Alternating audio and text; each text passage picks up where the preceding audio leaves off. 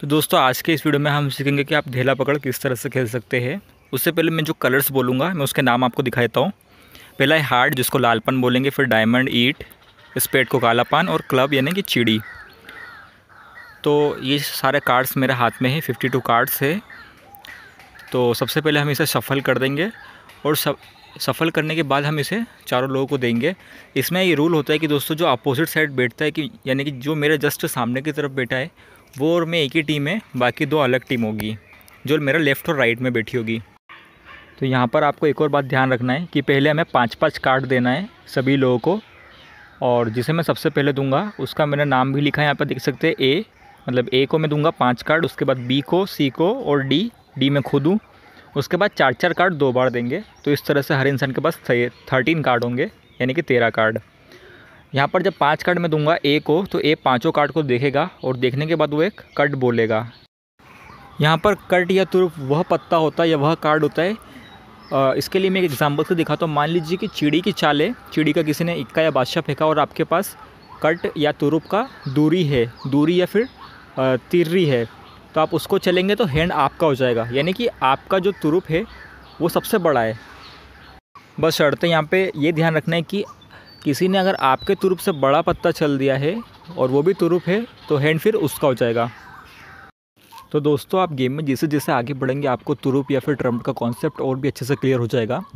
यहाँ पर जो प्लेयर ए था, उसने ईट या फिर डायमंड को अपना तुरुप घोषित किया है। तो मैं सारे कार्ड और भी डिस्ट्रीब्यूट कर देता हूँ चार चार करके।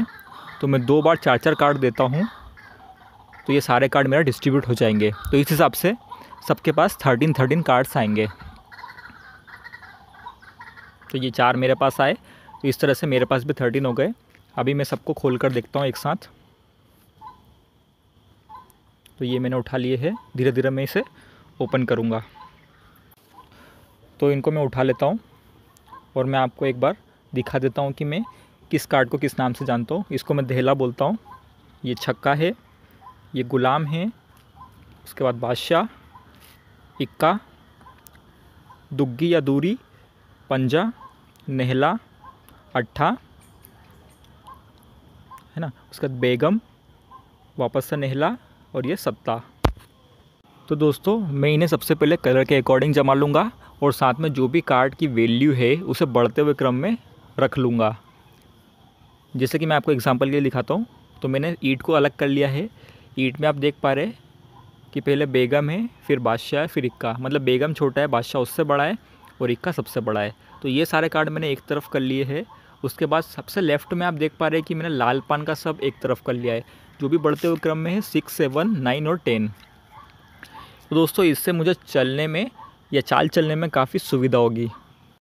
यहाँ पर मेरे पास दोस्तों तीन तुरुप आए हैं या तीन ट्रंप कार्ड आए हैं इक्का बेगम बादशाह, जो कि तीनों ही बड़े हैं। यानी कि अगर मैं इनको चलूँगा तो ये जो हैंड है वो मेरे ही होंगे। और ये गेम दोस्तों थोड़ा स्लो चलेगा। यहाँ पर चाल शुरू होती है तीन से, तीरी से। उसके बाद दोस्तों, मेरा जो पार्टनर है, उसने चला है गुलाम।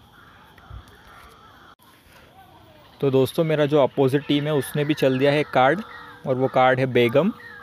दोस्तों, यहाँ पर आप देखिए, आप में ऑब्जर्वेशन काम आएगा। मेरे पास एक धेला था, जो काला पान का था तो मैं उसको चल सकता था, और ये मेरे पास आ जाता, लेकिन उसने बेगम चल दिया है। तो ये हैंड उसका बन रहा है, इसलिए मैं यहाँ पर दहला या फिर टेन नहीं चल पा रहा हूँ। तो ये जो सी है ये हैंड उसने जीत लिया है। तो दोस्तों इस तरह की चीज़ें और प्लानिंग आपको याद रखना है ताकि ये गेम आप जीत सके। मैं आपको एक और रूल बता देता हूँ कि इसमें अगर आप सात लगातार हैंड बना लेते हैं तो आप जीत जाएँगे या फिर आप चारों टेन को पकड़ लेते तो आप जीत जाएँगे। ये दो रूल होते हैं। अब उसने चला है दु, दुर्री या दुग्गी। और मैं चलूँगा यहाँ पे छक्का। उसके बाद एक ही बारी है। छक्का मैं दिखा देता हूँ। मैं देहला भी चल सकता था लेकिन मान लीजिए अगर ए के पास कोई बड़ा आ, कार्ड हो और बी के पास छोटा हो जो मेरा ही पार्टनर है तो मेरे को लॉस होगा। जैसे कि ए ने चला है गुलाम। अब बी की बारी है। बी ने चला है तीरी। तो ये सर जो है या फिर हैंड जो है ये ए का बना है। तो जिसका सर बनेगा या हैंड बनेगा चाल उसी की होगी। यहाँ पर ए चलेगा वापस से। तो ए ने चला है चीड़ी का छक्का। चाल बी की है बी जो मेरा पार्टनर है उसने चला है बादशाह चिड़ी का। तो यहाँ पर अगर आ, सी छोटा पत्ता चलता है तो मैं चिड़ी का धेला चल सकता था यहाँ पे तो वो हमारा हो जाता। लेकिन चूँकि मेरे पास तो चिड़ी का धेला है ही नहीं तो मैंने यहाँ पर नहला चल दिया है जो मेरे पास छोटा पत्ता है। क्योंकि ये चूँकि मेरा ही बन रहा है हैंड तो मुझे बड़ा चलने से कोई मतलब नहीं है और मेरा लॉस ही होगा इसमें, क्योंकि जो बादशाह था वो मेरे पार्टनर का ही था। दोस्तों, यहाँ पे आप देख सकते हैं कि मेरे पास दो दहला है तो मैं कोशिश करूँगा कि किसी भी हैंड में उन दोनों को दे पाऊँ ताकि वो मेरा बन जाए। तो मेरे पार्टनर ने चला है काले पान की चाल, जो कि है चौका। उसके बाद छक्का चला है सी ने। मैं यहाँ पे दहला दे सकता हूँ दोस्तों, लेकिन लेकिन अगर ए ने ऐसा बड़ा पत्ता चल दिया तो वो ए का हैंड हो जाएगा और मैं फिर ये गेम नहीं जीत पाऊँगा, क्योंकि दोस्तों जीतने के लिए चारों दहला पकड़ना ज़रूरी है। तो देखिए, सत्ता चला है उसने। हो सकता है कि उसके पास सिर्फ़ सत्ता ही हो। तो अगर मैं दहला देता तो शायद मेरा हैंड भी बन जाता, लेकिन मैंने रिस्क लेना ज़रूरी नहीं समझा। तो ए का हैंड है, मैं सी को दे देता हूँ, क्योंकि वो दोनों एक ही टीम से खेल रहे हैं। इसके बाद एक ही चाल। तो दोस्तों, यहाँ पर ए ने बादशाह चला है बी की बारी है। बी ने पंजा चल दिया मतलब छोटा पत्ता चल दिया है। तो दोस्तों, यहाँ पर आप देख सकते हैं कि अभी जो सर बन रहा है या हैंड बन रहा है, वो ए का बन रहा है। अभी सी की बारी है। सी ने अट्ठा चल दिया मतलब कट नहीं है। तो अभी बादशाह ही बन रहा है। अभी दोस्तों, मैं यहाँ पर नहला चल देता हूँ। तो अगर मेरे पास दूसरा कार्ड नहीं होता तो मुझे मजबूरन देहला चलना पड़ता और फिर मैं ये गेम जीत नहीं पाता। तो दोस्तों, मैंने यहाँ पर दो हैंड को रिमूव कर दिया है, क्योंकि वो इतने खास नहीं थे और ये वीडियो काफ़ी लंबा जा रहा है। तो यहाँ पर अभी बी की चाल है। बी ने चला है लालपन का चौक। बहुत गलत चाल चल दिया मुझे दहला चलना पड़ेगा यहाँ पर। और अभी ये जो हैंड है, ये बन रहा है सी का। अच्छा इधर भी इक्का आया। तो इसका मतलब आप समझे कि ए के पास जो है ना, वो लालपन ख़त्म हो गया है। इसलिए उसने इक्का चला है। नहीं तो फिर वो इक्का नहीं चलता। तो अभी हमको दो चीज़ याद रखना है कि सी और ए के पास, दोनों के पास लालपन ख़त्म हो गया है। और मेरे पास भी ख़त्म हो गया है। तो इसका मतलब सारे लालपन किसके पास है? मेरे पार्टनर के पास। एक ही चाल है। ए ने इक्का चला इसका मतलब इसके पास स्पेड ख़त्म हो गया है। अब बी की चाल है। बी जो मेरा पार्टनर है, उसने चला है देहला। और वो कट भी है, तुरुप भी है। तो ये हैंड हमारा हो गया और इस तरह से हमने एक देहला को पकड़ लिया है। तो अब मेरे पार्टनर की चाल है मतलब बी की चाल है। उसने चलाए चिड़ी चिड़ी का दुग्गी। इधर से इक्का आ गया है। अब मैं अपने कार्ड देख लेता हूँ। मेरे पास चिड़ी का गुलाम है, मैं चल देता हूँ। नहीं तो मैं इसको कट भी कर सकता था। अब ये क्या चलेगा? ने कट किया है, जबकि इन्हें कट करने की ज़रूरत नहीं थी। इन्हीं का हैंड बन रहा था। इसका मतलब ये है कि ए के पास अब सारे ही कट है। यहाँ पर ये भी एक ऑब्जर्वेशन है। ये देखिए, अगला भी कट आया। या तुरुप आया है। इधर गुलाम। इधर सत्ता। तो ये हमारा ही बन रहा है।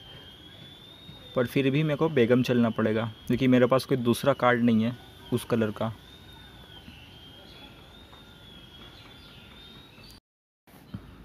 तो अभी मैं ये स्ट्रेटजी अपनाऊँगा कि मैं कट चलूँगा इक्का, और इसके बाद मैं बादशाह चलूँगा, जिससे कि दोस्तों, जो भी ए और सी की टीम है, उनका जो कट है, वो ख़त्म हो जाए, ताकि मेरा देहला में चल सकूँ, और अगर इनके पास कोई बड़ा पत्ता भी है, और वो काले पान का नहीं हो तो वो मेरा ही बनेगा, वो हैंड जो होगा। क्योंकि अगर सेम कलर का पत्ता नहीं चलते हैं, और अगर वो तुरुप नहीं है तो उसी का बनता है, जिसने पहले चला था। तो ये लो तुरुप का बादशाह।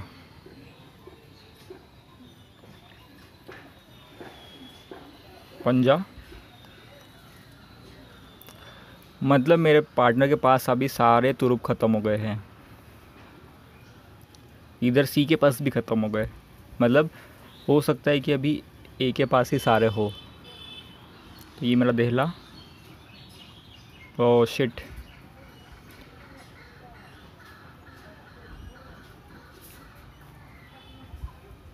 बेगम। तो ये जो हैंड है, उनका ही बना है। अभी हम देख लेते हैं कि किसने कितने हैंड बनाए हैं और किसके पास कितने देहला है। तो मेरे गिनता हूँ एक, दो, तीन उसके बाद चार।